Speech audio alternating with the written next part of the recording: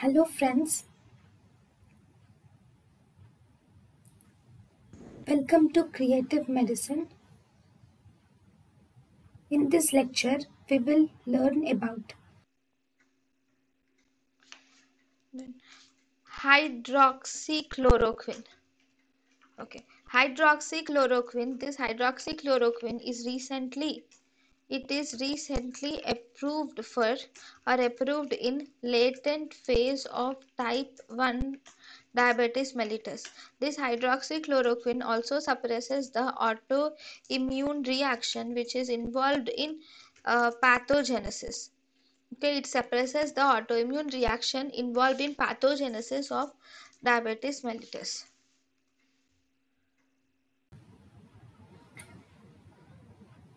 Thank you and thank you for watching.